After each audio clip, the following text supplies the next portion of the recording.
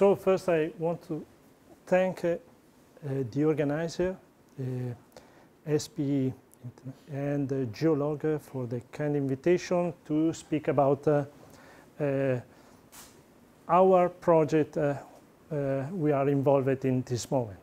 Actually, so as you got probably from the CV, I'm not a geologist.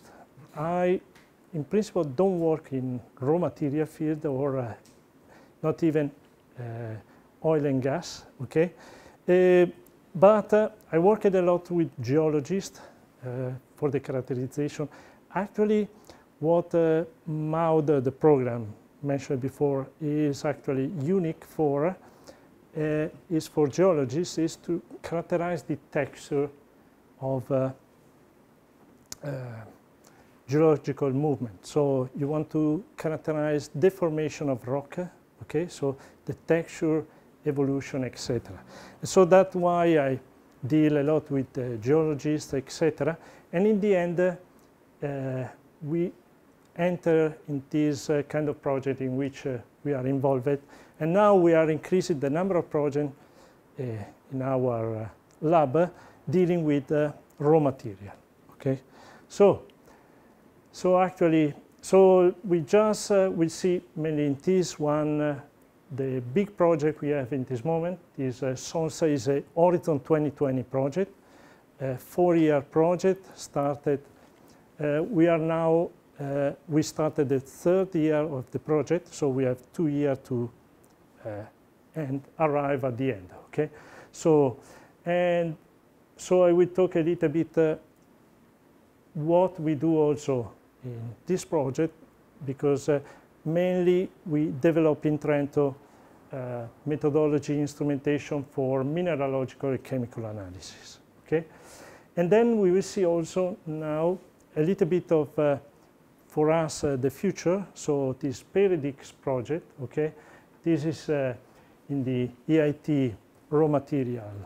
Uh, is a EIT raw material project. It is an upscaling project. Okay in which we start from some prototype we had for portable instrumentation. Okay, but it's also about this one, but uh, uh, on a different perspective.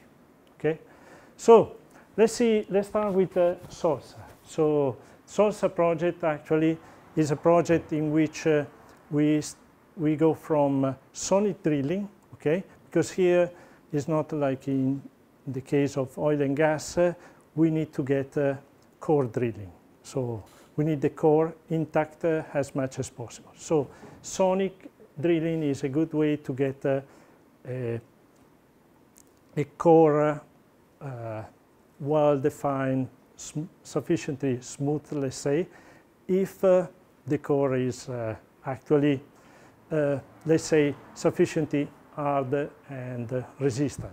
We will see in several cases it is not. Uh, and then uh, the other part uh, we will see are then a core scanner and we want to characterize this score to get the amount well of metal we have in actually. So uh, the let's say the uh, transition metal uh, we have in if we have a good percentage to be used uh, by the processing uh, after the mining, okay? Uh, so actually we have involved one large enterprise, so this is Eramet. Actually Eramet has a base in France, but all the mines are out of Europe, actually, okay? Because uh, they are mainly involved in uh, uh, manganese, nickel, cobalt field, okay? Then there are two SMEs, okay? So uh, Royal Eijkelkamp, this is uh, from uh, Netherlands, and INEL TFS. Actually, uh, this one is a little bit, so it was SMEs when it entered, but now it's part of Thermo Fisher, so you can consider it a little bit large. Okay, then there is BRGM. BRGM is the is the survey uh, geological survey uh, office of France, okay? and then uh, five academics. So one is in Caen, okay, is the CRISMAT, uh, Trento, we are in. Then there is Verona, they are specialized in Raman, and Vilnius, Vilnius University, where we have all the database, crystallographic database, uh, etc., online part in the project, and then the Technical University of Delft. Well, this is considered quite a large uh, project for Horizon 2020. Okay, they said it is probably uh, one of the largest, one of the few large projects in the raw material field. Okay, so what is the goal of SOLSA? So actually, the problem is the ore from where you want to extract, for example, the nickel. Well, in the project, we, Eramet wanted the nickel. Now they started to add, okay, because they, they see it's working well, uh, so they want to see also magnesium and uh, cobalt. Magnesium actually make a big change in, in our goal.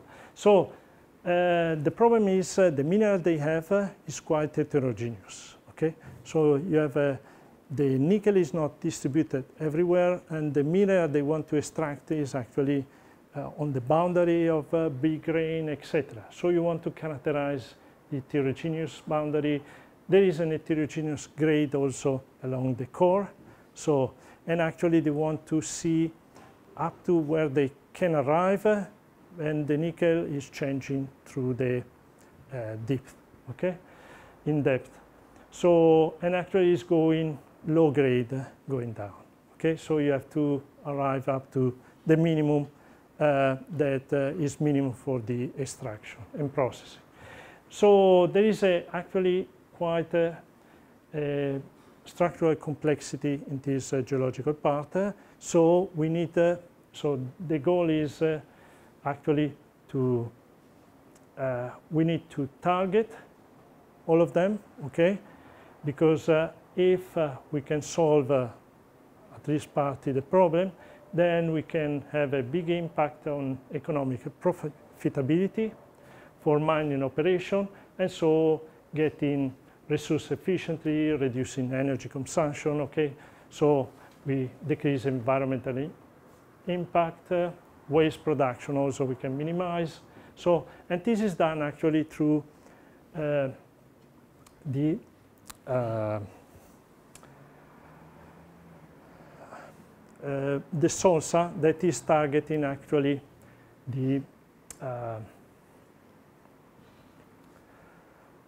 RTM.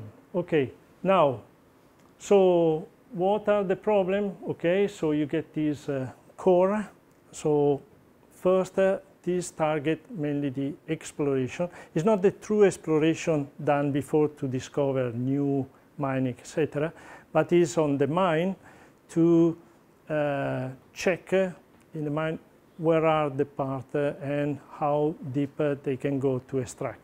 Okay, so what is important is uh, actually that you have a, a fast decision loop, not a slow one, and so normally, so you want to do the drilling, process everything, okay?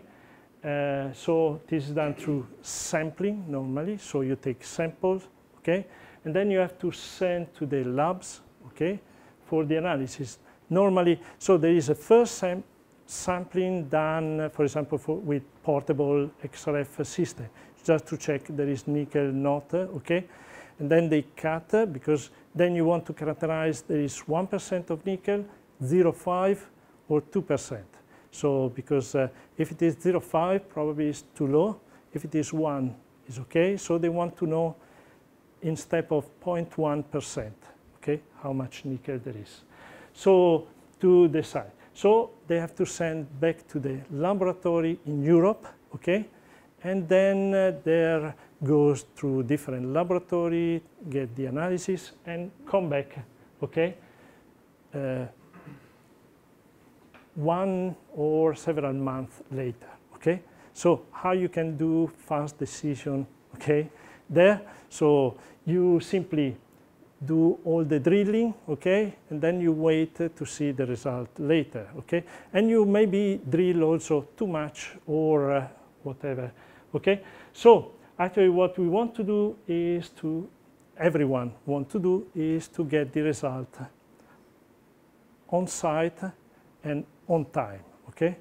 So if you can get uh, that one, then you can uh, get a faster decision, okay, where to continue drilling, mining, etc., so, or to stop, okay?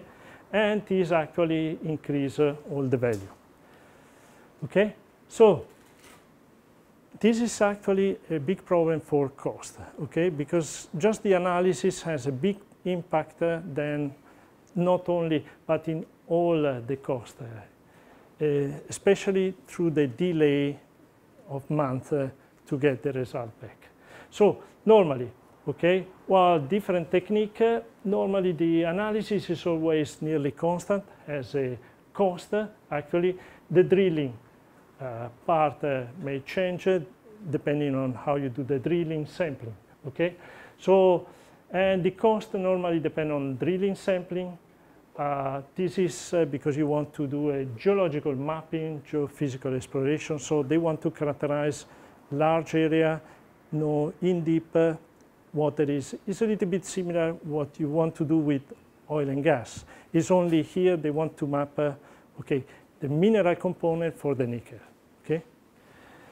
So actually the drilling cost uh, actually depend, well, what kind of technique, core diameter, how much uh, the amount of in meter of drilling per year, okay, and the distance uh, from the infrastructure. This actually, uh, so if you want to do a, what they see, there is a really direct correlation uh, from the drilling distance to infrastructure, and you can approximate something like uh, 100, 400 euro per meter, okay? That uh, when it becomes large, uh, start to be quite high, okay? That is why you want to process on the field, okay? Everything. But the problem is uh, you want a good characterization. So you need really to characterize both the mineralogical part and the chemical. Okay? It's not only the amount of nickel, because actually for the processing later, uh, extracting the nickel depends also where it is in the nickel, what uh, mineralogical uh, phases uh, are contained in the nickel, because some are more hard to reduce, uh, other are uh, maybe uh, more easy. Okay, so so the real-time mining, okay, so what you want to do a from a discontinuous process, so the one in which you drill, then you send, get back the result, and decide, okay, this area we do whatever. You want to do a continuous process in which you drill, and as soon as you find that uh, there there is no more nickel, you can stop, uh, okay, and you can proceed much faster and uh, with less cost, okay. So what you do is exploration mining here, the cycle, with the SOLSA expert system, as we call uh, this system, we want to cut back uh, and get a feedback uh, so we can do it uh, much faster, okay? Instead of uh, going through everything. So closing the gap between exploration and mining. So the exploration and mining uh, working more close together, okay? Not two completely separate steps. Okay, so what we need uh, actually is a real-time systematic mineralogical and chemical analysis. That is, uh, we want to know how the amount of metal and water phases uh, contain, what mineral contain the metal, okay, during the drilling. So, and this is really during, they want to go down with the drilling and get uh, this one. So so what are the different parts inside the SOLSA, okay? So you can think about three parts in which you have the drilling part, okay? And then there is the analysis part, okay? So the scanner plus uh, whatever the analysis. And actually there is the part uh, with the so software in which we have uh, also the software to analyze uh, the data, but also to do all the um, machine learning process to map uh, the area and also use uh, uh, previous data, etc., to get a more in-depth uh, geological knowledge uh, of the area, okay, and similar area, just to improve the process, okay. So, ah, well, sorry. So actually, sonic drilling was one part. Then there is a core scanner, okay, take uh, the core and analyze to uh, get uh, what are the region of interest, okay? So where are the parts that we need uh, more in-deep analysis, okay? So then uh, this one go into quantitative on-site chemical mineralogical analysis. Actually, this was not the first, uh, when we submit the project, project, this one was just one. So we thought that the core scanner was uh, doing everything at once. And then uh, after it took one year to deal with the people in New Caledonia, okay, to get, uh, oh no, we, we need uh, to go 60 meter per day. So, and scan every centimeter. So say, okay, 60 meter per day, scanning every centimeter, with one machine we cannot do with the precision we want. So we had to change strategy. So actually we divide in two, so there is one scanner just to locate what are the region of interest, okay? And then uh, on the region of interest, then we do a more close mapping, okay? To, for the heterogeneity and to get uh, the precise amount of nickel and mineralogical phases that we don't do here, okay? So, and then everything actually is bound from the drill to the analysis, etc., through this uh, uh, system. So, okay, uh, we want to use uh, the data in a smart way, okay? And so, and it goes up to economic evaluation. That is uh, what they are working, for example, at the Technical University of Delft. I will not talk about that. I had a slide on it, but I don't understand it, so I will not uh, present it. So uh, nickel, actually, nickel is quite important. Uh, while it's uh, mainly used in stainless steel, you know, stainless steel without the nickel is not stainless steel, okay? Nickel, chrome, chromium is inside. But uh, maybe less known is uh, one of the principal components. There are superalloy, so the one used in gas turbine, etc. So they are or nickel based or cobalt based. Okay, uh, so actually is uh, nickel also. So all non-ferrous alloy, then plating, other. Well, actually, 60% of nickel is used in uh, stainless steel, and actually 70% is recycled but uh, still, so there is one part uh, and we need to extract uh, more nickel, okay? That is decreasing in grade. Now, so, so you see where it's coming from. So there is no practically, well, we can consider Europe here in other, okay? So all the rest is, uh, so uh, coming from, so you see Indonesia, Philippines, so uh, New Caledonia, Australia, that part uh, is actually where most of the nickel is. Okay, Australia. Uh, end user, well, if you... Now, not only nickel is important, actually, uh, because what we have inside is all the, so cobalt, for example.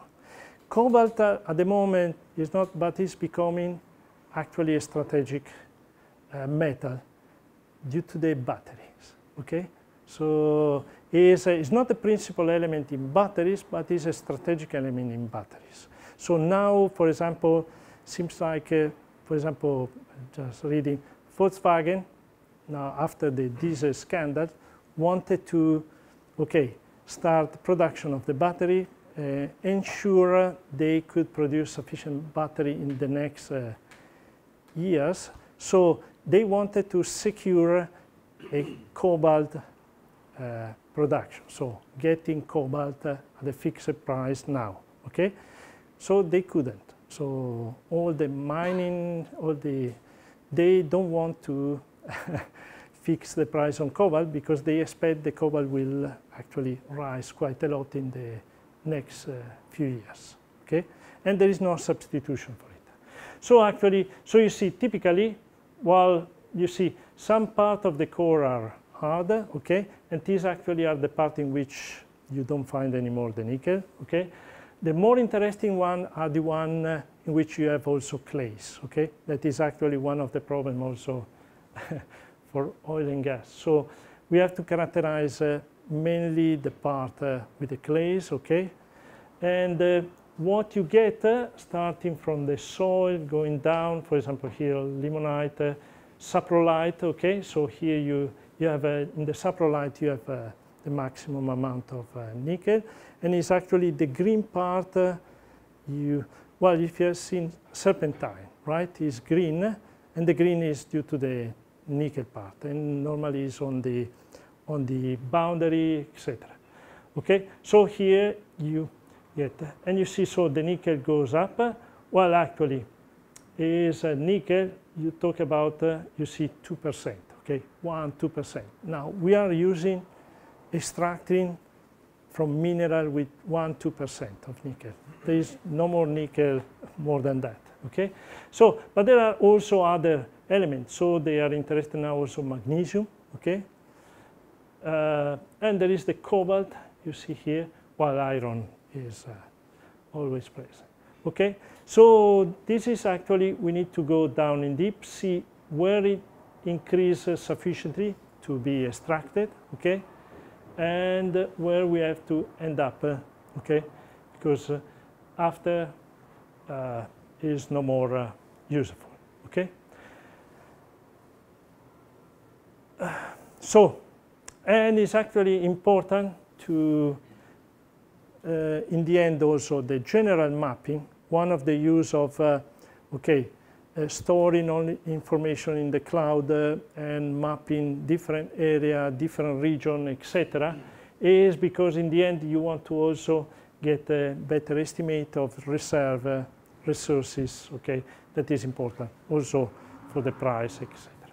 So now uh, in Europe uh, there is mainly the processing. Okay, so just a distribution. So you see chemicals, smelting, so refinement. Okay Mine, mining, there are only, well, actually, Finland or uh, uh, Norway, well, Sweden, here it is. Uh, okay, and a little bit in Spain and Greece, okay? Most of it, uh, for example, for Eramet, is actually Eramet SLN is in New Caledonia, for example. This is uh, where, and then you know why okay, you want to analyze on-site in New Caledonia, you don't want to, uh, to get it back. So actually, what also the expert system must do is substitute uh, a geolo geologist on site, okay? So the geologist can stay in France, okay? And uh, get only the system there. So uh, nickel sulfide, but uh, we are targeting nickel laterite, okay, for this one. Now, uh, there are uh, different uh, instruments to analyze, okay. These are very similar, well, mostly the same uh, system used also for oil and gas, okay. Now, uh, you can have, uh, for example, if you just analyze on-site chemistry, then you can use portable XRF, the XRF gun, okay, to a qualitative analysis, just to get there is nickel or not. Or uh, there are actually uh, they started develop scanner, okay, to scan uh, mainly imaging system or hyperspectral or different. So this is actually done by using just one technique, okay? Or the mineralogy normally is done by uh, taking cut powder, okay, and uh, in the lab, so from the cut you do whatever, from uh, microscopy to uh, infrared, hyperspectral camera, so X-ray diffraction, Raman, okay, different photonic system, etc. Now there are also uh, a lot of projects, uh, especially in Australia, by uh, uh that uh, want to get uh, multiple technique together to get a better characterization. So SOLSA is not the only one.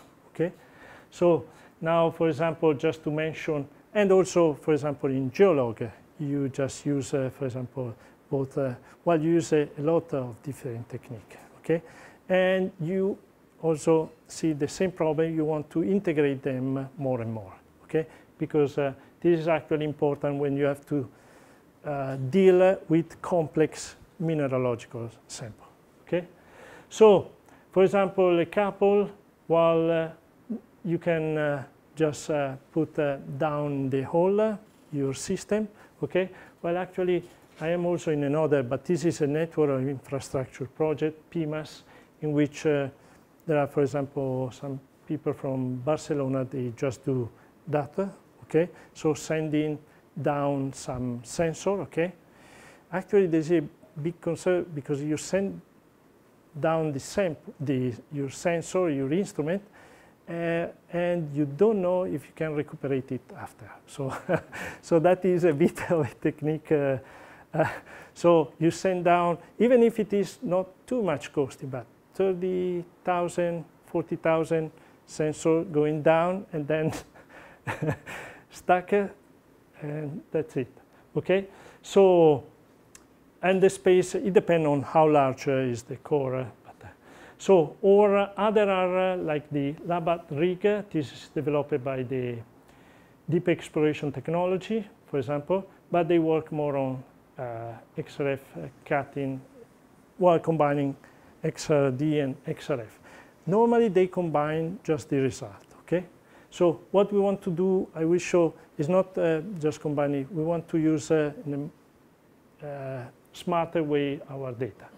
So in um, SOLSA, okay, so we have the drilling, okay, and then uh, the core goes uh, here, there is a conveyor, okay, to move uh, the core, okay, move the core, and actually what you do, you start, because this one uh, can go faster, so we can reach the 60 meter per day, okay, with this one, so you go with the RGB camera, okay, uh, profilometer to get the roughness, etc. But it's also useful then for the XRF. These are all uh, together, okay? The XRF uh, take uh, is actually, this is for a qualitative XRF, uh, take uh, the area, just to say is uh, nickel there or not, okay? Because when the XRF see no nickel, okay, that part is when we are but this is qualitative, okay? So we cannot uh, get the 0.1% or even, so uh, we just uh, use it as yes or not, okay, to proceed. So, and to get uh, the area. So, and then the hyperspectral camera. So from this one you get a mapping and you get uh, which are the region of interest, okay? So then, well actually uh, this was a big discussion because but in the end, then on the region of interest, actually, so this is then reduced in powder, pelletized, and then we go with more traditional, but also on-site automatic uh, system. While here is uh, one uh, first prototype, but this is for lab, is not actually. The final one actually is a little bit similar to the Equinox you have, but then has another part in it uh, also for the XRF, okay, uh, and uh, the Raman, okay, because we actually what we do in this part here we do XRD XRF plus Raman, and the goal of that part uh, is in the end on the region of interest to get uh, phases and chemical content, okay. That is where we work uh, more in Trento, okay. We are not involved with the first part, well, the XRF mainly, but uh, the rest. Okay, so just going. Uh, the drilling, okay, the drilling is also, we, you want to do a drilling connected to everything because you, you want to get uh, feedback uh, from all the rest uh, and continuous and on time. So, uh, well, part was decided to go with the sonic drilling because sonic drilling is actually, they can go sufficiently faster, okay, without destroying the, the log. Okay, so, uh, so they are working standard, etc. Uh, so recover as much as possible the core, okay? Sometimes the core is also full of water, so you have also then to dry, okay, for the analysis. For example, the hyperspectral don't work, uh, infrared don't work if there is water, okay? So you have to remove uh, the water. Um, so uh, we call it uh, uh, then ID2A, the one doing the core scanner. So it need to be connected with that one and also to do the real-time decision. Actually, uh, for example, uh, use uh, on the cloud, etc., why you want everything connected. Because when you have um, using machine learning technique, etc., at a certain point from the, from the imaging, okay? From the imaging at the moment, it's not so easy to get exactly. I know they claim uh, you can get uh, even, okay, here there is forsterite or uh, lizardite, but it's not so. Sometimes they don't distinguish where the core is from the background, okay? So that is, uh, but uh, this is improving. And as you store uh, more data, you can compare with different similar area and you know when you have to expect uh, when, for example, the nickel go down to a certain level, etc. So from the morphology, etc., texture, etc. Okay, so this is why the system, so will start, uh, Eramet especially wanted also, for example, in Vilnius, a special database for them in which they can store all the mining operation around, okay, to just uh, gain data on this one.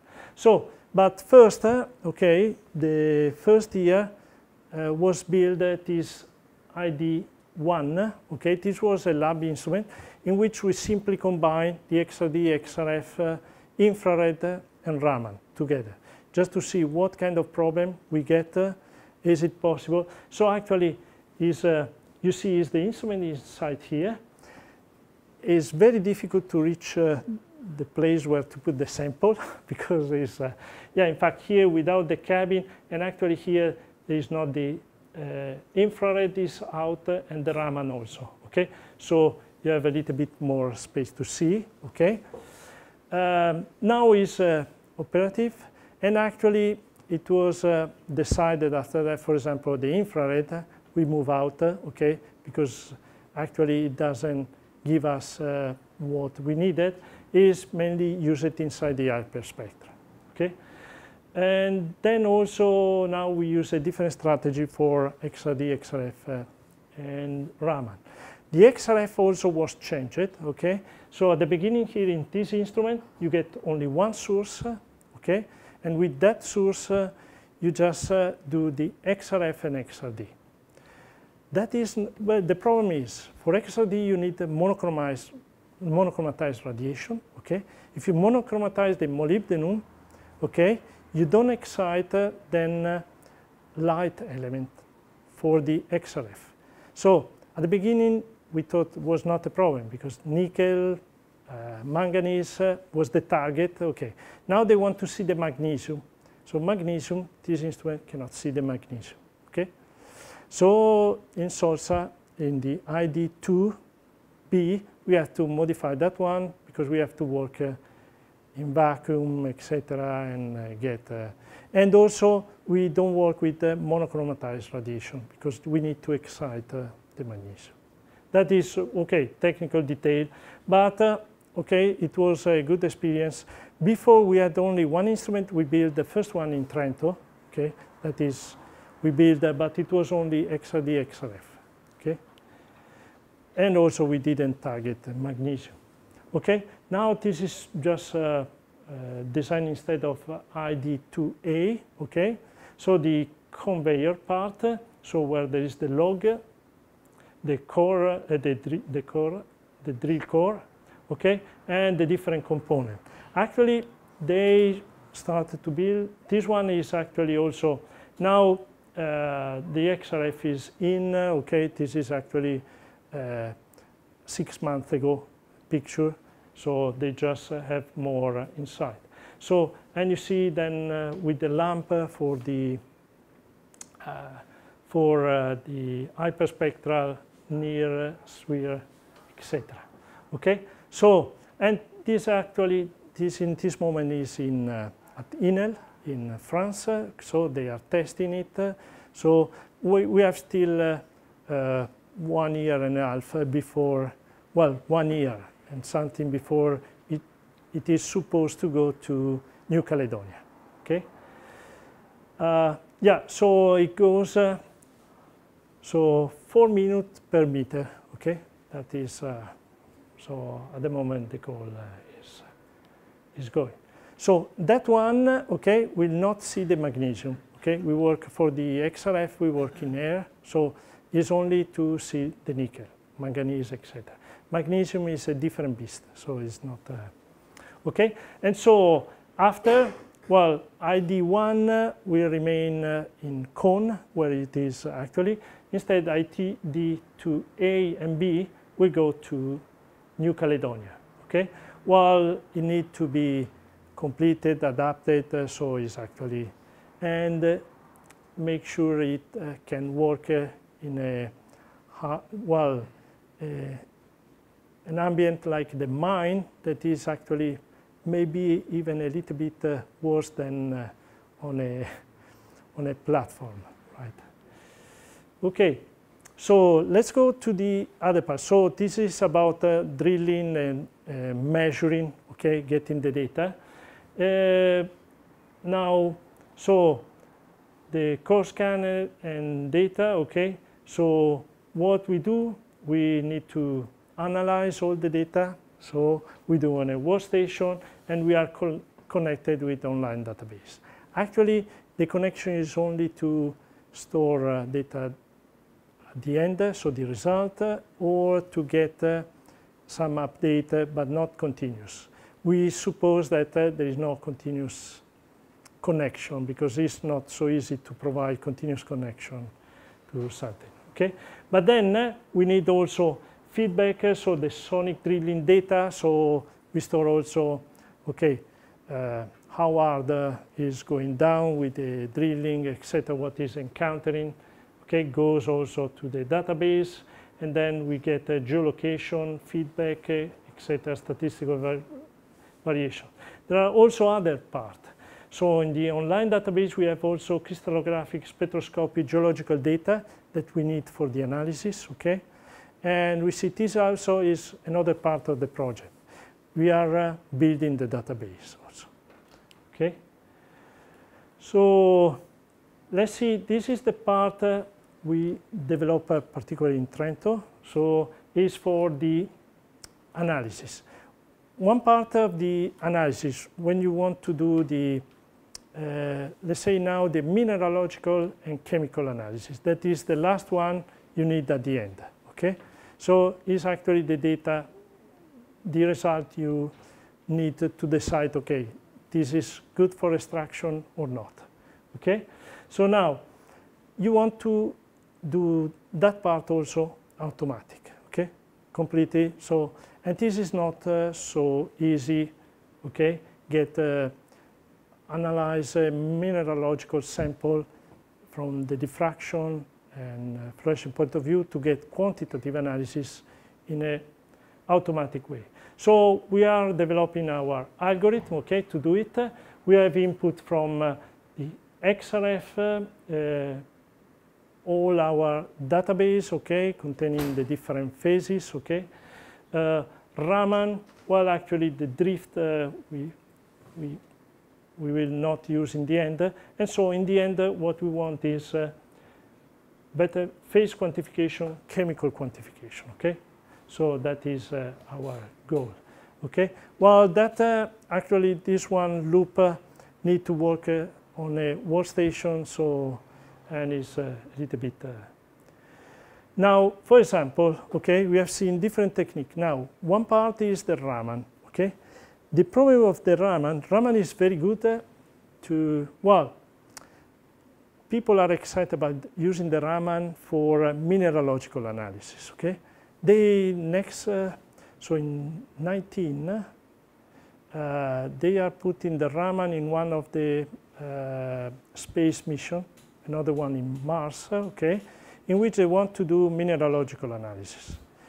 There is one problem with the Raman. So the Raman, okay, you is very good uh, if you go with the micro Raman, pick up uh, one grain by one grain, because one grain, then, okay, you are not able to identify everything, but uh, maybe, okay, you get an idea, there could be this one or this one. Sometimes you get uh, simply something is not in because maybe there is only one grain of the, that phase and you pick up just that, okay? Quantification is not possible with the Raman, okay?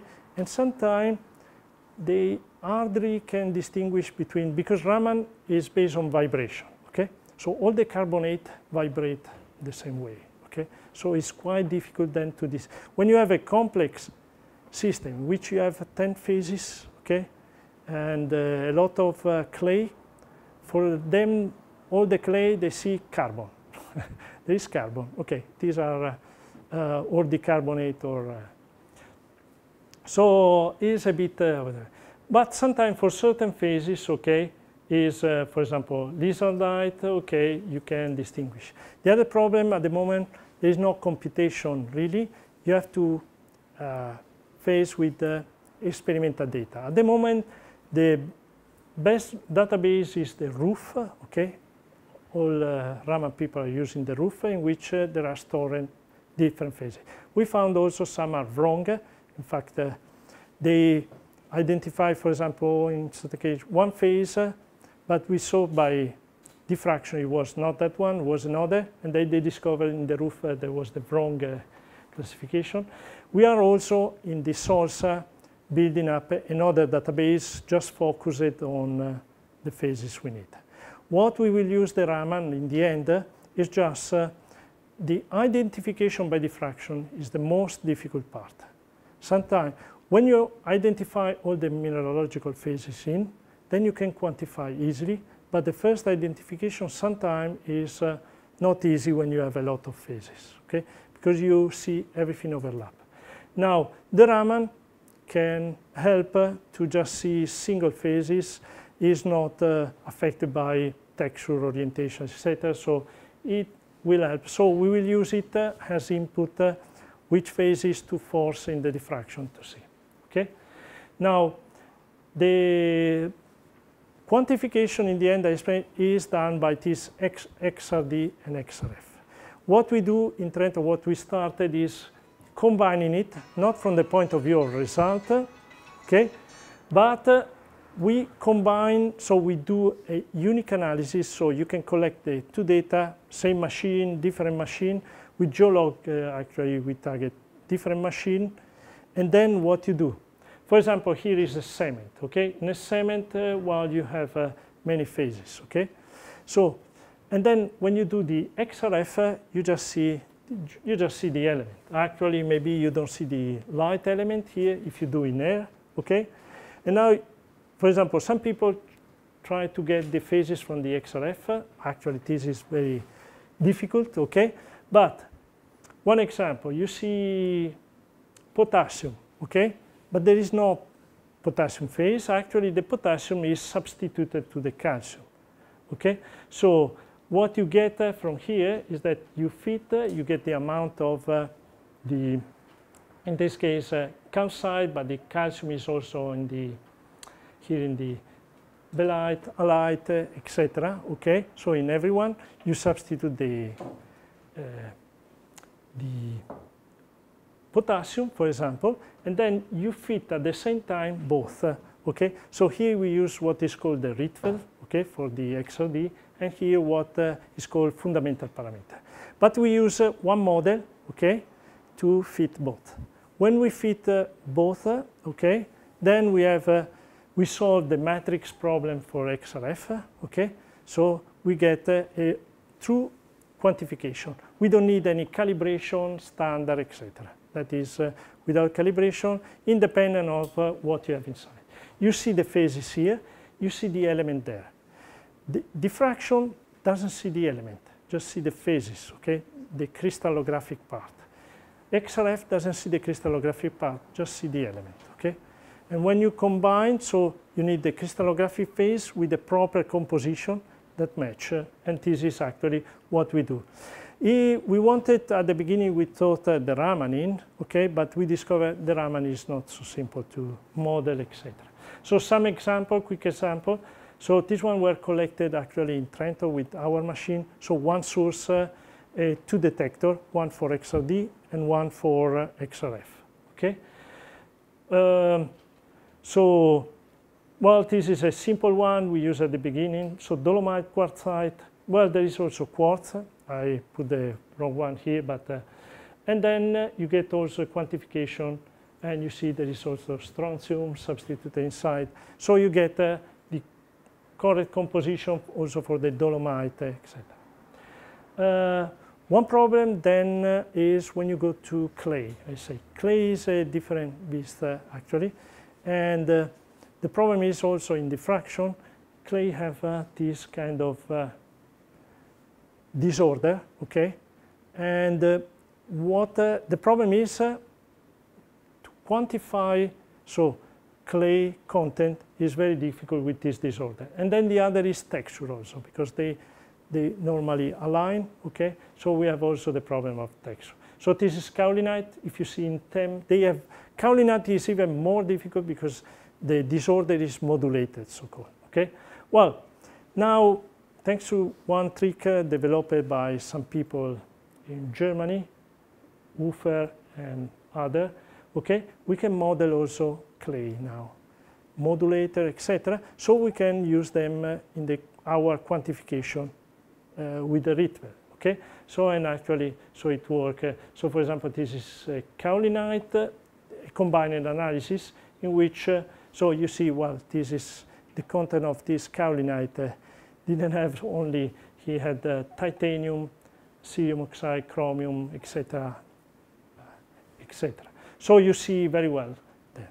Now, uh, so what we say in SOLSA normally, uh, in the end, what we need is uh, to get the core. We need just to get where we need to do the analysis, and then in the end we need that XRD, XRF work well to get the nickel content, okay? So now XRD, XRF, uh, we have some problem, we struggle. In the end, in SOLSA, the prototype, the, the final prototype, the XRD and the XRF are separated, are not uh, together, okay? Not uh, one instrument. So it means uh, two different instruments. In the ID2B, in practice, they are in parallel, but two different sources, two detector, and so and the sample need to move from one to the other. Okay, that is like you do in geolog. So, but now what you do if, uh, and this is actually the target of this one. You want, uh, we build up in Trento, so we started, you want a portable instrument. You want to go on site put on, the rock, on a rock, okay, and see not only like you do for XRF, just you point and then you see, okay, there is iron, etc., etc.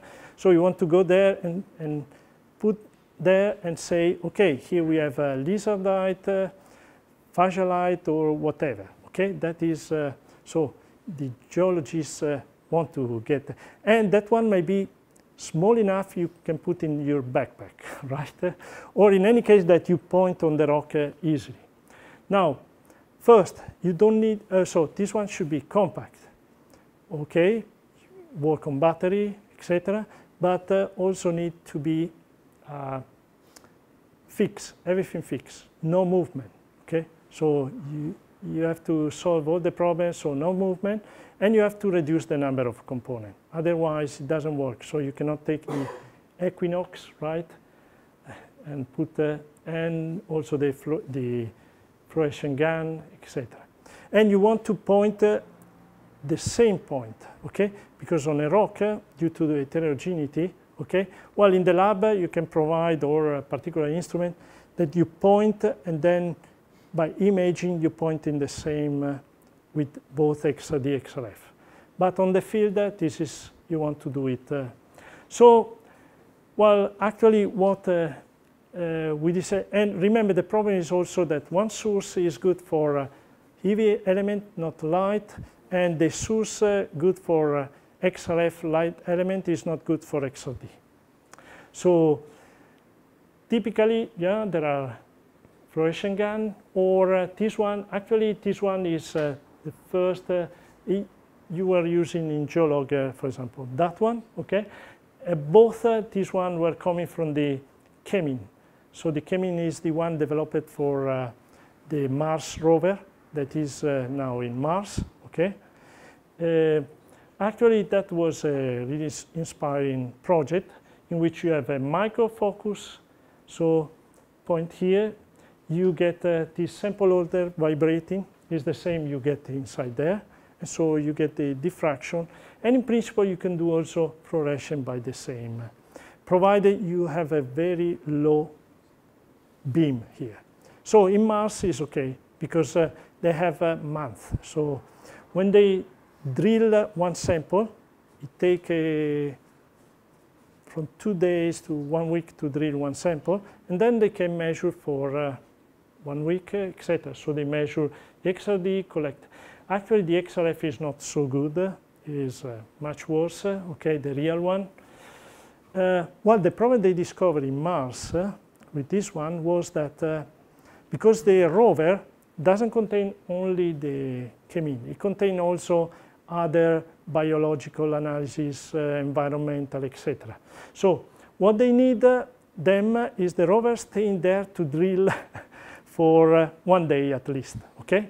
But the other instead don't want to, st to stay there. They want to go around to, because uh, the analyses are much quicker and they want to sample all around. So in the end, they analyze only three or four samples because they had to compromise with the other team so to stay there or to go around. If they go around, they cannot, uh, they cannot drill, they cannot get sample. So actually, the, the, the problem is actually, in that case, is the drilling. So that uh, came in. Now, okay, the idea for PEREDIX is, uh, well, the, what is under the project is the development of a new detector okay? A new sensor, so we can get rid of uh, having two sensor, two source, etc., and make uh, something very compact. So, well, this is something I, we collected in Trento, okay, in which we collect, uh, like uh, you collect uh, XRD, but with an XRF detector. So you collect, uh, here you change the angle, so the diffraction angle, where you see the peak, and here you change instead the energy.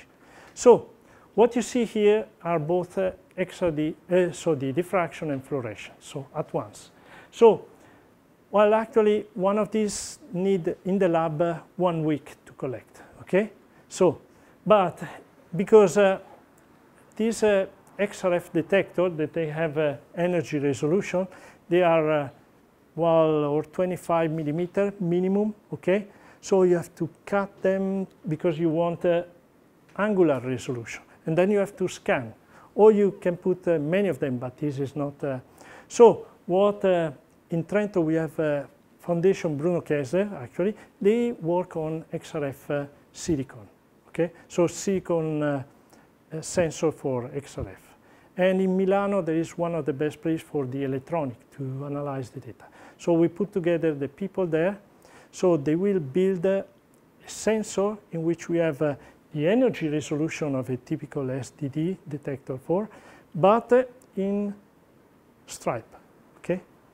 So we get uh, the angular resolution. So then, uh, and this is actually Thermo Fisher who is already thinking, uh, so they can put uh, all these elements, okay? Well, how many depend on the cost, but actually we realize we don't need a really large one. And so you just scan one, everything fixes. So you put there one detector, one source. Now, here the best is no monochromatized source, okay? So, and actually, so what we see, here is normally what we see in diffraction along here. So these are the diffraction peak, okay? For uh, this, uh, this uh, uh barium sulfate, okay? Oh, yeah, barium sulfate. Or, uh, well, I had two, uh, one barium sulfate, another barium titanate, okay? And the other sample we scan. Uh, then uh, this uh, continuous line here are the fluorescence line, okay? So this one give you the element inside, this one give you the crystallography, okay? And then this one is just the diffraction part due to the bremsstrahlung. When you don't monochromatize, you get the bremsstrahlung. This water give you the problem, okay? So let's see, this one, for example, is another one. It's just silicon, so much uh, more simple. So, so uh, using collectivity's SDD detector with 100 micron slit in front of it. So what we see here, for example, silicon line, argon line, iron line here, okay? These are fluorescence, okay? Then we get uh, diffraction. The diffraction you see is uh, not continuous. Now this part here is the diffraction due to the bremsstrahlung. The bremsstrahlung is not a fixed wavelength. Is, uh, so you get the diffraction changing and so at different angle is like the Bragg law you invert you see in lambda instead of uh, in theta. Okay, so but uh, what is good is that uh, here, so you, you have a high energy. Normally, if you use molybdenum here, you, it's not good uh, for, to analyze clay, for example, because all the clay peak, uh, the best peak for clay are at very low angle. You don't see with molybdenum. They are just down here, okay? But uh, they come up uh, with the short, the, with the longest wavelength here. So you see in the bremsstrahlung. Now also you can separate, uh, well, Compton, okay? Because uh, what are the XRD problem? You normally, okay, your detector just uh, integrate over here. So you get also the Compton in it, uh, everything, and if there, and also, well, normally it's really integrated over here if you don't have a monochromator in the diffracted beam. Okay, so all this part where they go in the background. So you have a high background, okay, and uh, all this stuff in it. So just to see the peak uh, that are the bump over here, okay. Uh, when you do XRF, uh, if it is not monochromatized, so um, all this part here, they go inside also. And what you get, uh, because uh, in XRF, then you integrate down here, okay? So you get everything, because uh, these uh, detectors have, uh, are very close, they collect uh, every, in a large angle, okay? So you get a high background. So typically, okay, in XRF, you get this uh, bump over here, okay? Where in log you see, and this is what you don't want, why you monochromatize. But if you monochromatize, okay, you get rid there, but you don't see the light element, okay? So in energy. And in diffraction, okay, the other problem. So instead, uh, what we will do with our PEREDIX is just one instrument, we collect both, and we process, we separate completely the two effects. And we can use one source, we don't monochromatize nothing, we don't lose any photon, we just use every photon inside, okay? So to speed up the, analysis, the collection time, make everything more compact, etc. So I think this one is right. And so then we just process our fundamental Rietveld, we combine really together in a map Okay? So the PEREDIX goal, well, PEREDIX just started is uh, January, so we are just at the beginning. They are already uh, starting to produce the the first sensor, okay? So we are, uh, we wanted to put the first sensor in an instrument, okay, by the end of the year, because actually it's a very quick project. It's an upscaling project, okay? So, and everything, the rest we have already, so it's only the sensor, okay?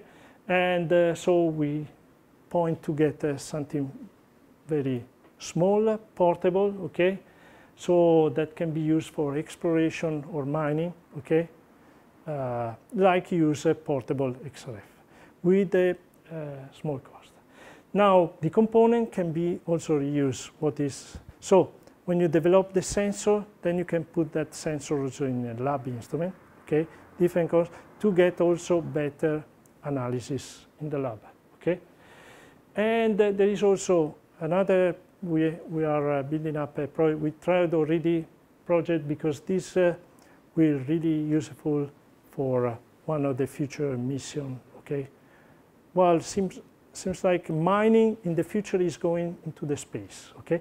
There is already one, uh, uh, is uh, uh, not an, well, it is an association or uh, for uh, mining on asteroid, something like that.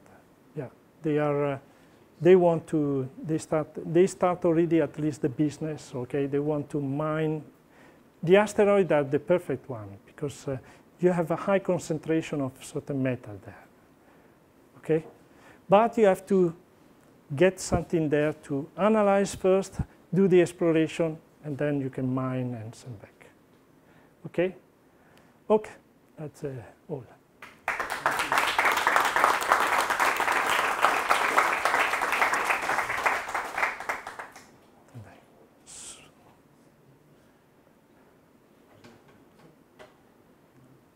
Ask a question. Oh. Okay. oh. have to, to come very close to the microphone. Uh, you showed during the, your presentation, you showed uh, one of the one instrument that was like a monster uh, because it was combining uh, ah. uh, XRD, XRF, uh, and I, yeah. infrared, and so on. Yeah, ID1. ID1. And you said that uh, you were not very interested, uh, if I well understood, you were not very interested in infrared. Uh, well, it's actually it. Yeah. And Raman and we are not infrared because it was not bringing additional information. looking at the, at the problem from our side, you know, you know, yeah. we are looking at oil and gas. Uh, you know, coming back, you, you, yeah, your presentation was very interesting, but uh, you know, was mainly focused on on mining. Uh, but uh, we are SP. SP is petroleum engineering, so it means that uh, we are interested in oil and gas. And uh, my point is, if this one could be used also on on our samples, because I think that to combine the mineralogical, the say mineralogical characterization with the organic matter and the infrared can help. Right a lot in, in characterization of the organic matter or of the oil. I think that we can combine the two and understand how it is, uh, how the, yeah. the, mineral matrix and the organic uh, and the organic. Uh, right. yeah, this is a very good question. I forgot to mention. Initially, the the main goal of the infrared was to determine the organic part, because also it matters for for them because if they have organic inside, okay, the process, the smelting, etc., the refining, refining process change because uh, it's not uh, actually the same. The only problem is, uh, is uh, that with this kind of sample, with a little bit of water that is already, we get uh, we cannot analyze. Uh, but on dry sample, okay, it it can work actually in ID1. Now in in the other one, simply we move out from the final characterization, we move in the pre, where you just have to identify the region of interest. But this one, okay, yeah, is uh, and it is available. It's a lab instrument, okay, that uh, can, if you are just to try, yeah, is not not, not us, I think that could be no, no, it could be. I think it also could be interesting. So for, the moment, we this charge the infrared because we had to point yeah. more, uh, we decided more on the eye perspective that was not in, but uh, maybe in the future we will. I think that there is a market, at least there is a market in USA for unconventional. You know, unconventional, they are looking at the properties right. of the rock and the properties of the organic matter inside the rock. Yeah, yeah. So no, no. I think that something like that could be very interesting in, that, yeah. In, in so let's say mainly discharge. We, it, it went to second uh, order problem. So we, at the moment, we we decided not to use it. Okay. If I can I ask another question, sorry, I don't want to ask too many questions.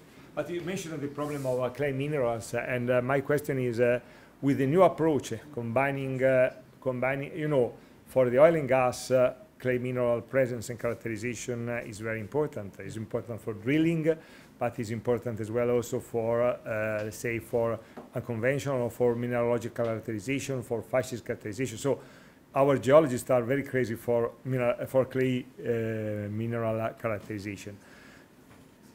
If I well understood, the new approach that we are following to combine with the one sensor, combining uh, XRD and XRF, Yeah. it could help a lot. Yeah. So my, my, my question is, uh, what is the, the perspective for the future? You know, we can, we can hope that in the future we'll be able uh, to characterize better and faster The- clay mineral clay mineral, at, uh, yeah. at, uh, at well site, because I think that this can make uh, happy the, uh, the, the drillers, uh, because uh, expandable, Yeah. expandable uh, clays are, a real a problem, and at the same time can be used for characterization, for say formation characterization, and for so this is uh, can bring a lot of uh, can bring a lot of pieces of information for for oil and gas. That is Yeah. uh, important. Yeah, yeah, for clay mineral, there is, from one side is the modeling, okay, and on that one, well, we have other problem also that we are, uh, so for, uh, from the point of it, but these are technical problem, okay, that uh, we can,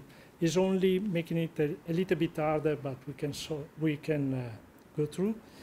The other is, uh, yeah, the measurement, because with clay, it's important to get the low angle line and uh, actually so you need uh, so this one can help a lot. And especially also in clay you have always iron for example or other metal. You have high fluorescence so everything is more complicated but uh, let's say the sensor of Paradix uh, let's hope uh, it works as they promise. Well in principle they said it's, is simple. It's like a, a an SDD sen- uh, sensor used for XRF, only instead of getting just, uh, in reality, there is one, like that one is uh, big, what they sell normally. There is also another one in, um, in uh, München. Uh, they develop uh, one is, a, is called the color camera, in which uh, they, they have the SDD per pixel. But this actually is a 25 by 25 micron pixel, and you have only 256 by 250. It's very small. You get a lot of uh, data there, but uh, it's small, so you collect a photon, and the cost is, uh, well, in the past it was uh, this uh, small one, few millimeter by few millimeter was about uh, 1 million, okay? So only a couple of synchrotron uh, facility have to keep. Now we got an offer. In fact, before we get, got approved this one, we were thinking to buy one because we got an offer because we could develop the software for 200,000. That is already, well, the detector is so small, but then you have a cabinet like this for the electronic. Okay, so in Peridic we say, no, we don't need a, such a small picture. We just need some straight 100 micron, okay? So let's go in between and uh, so that, uh, let's see what happens. Ok, Facciamo la fine, concludiamo. Beh, l'ultimo applauso.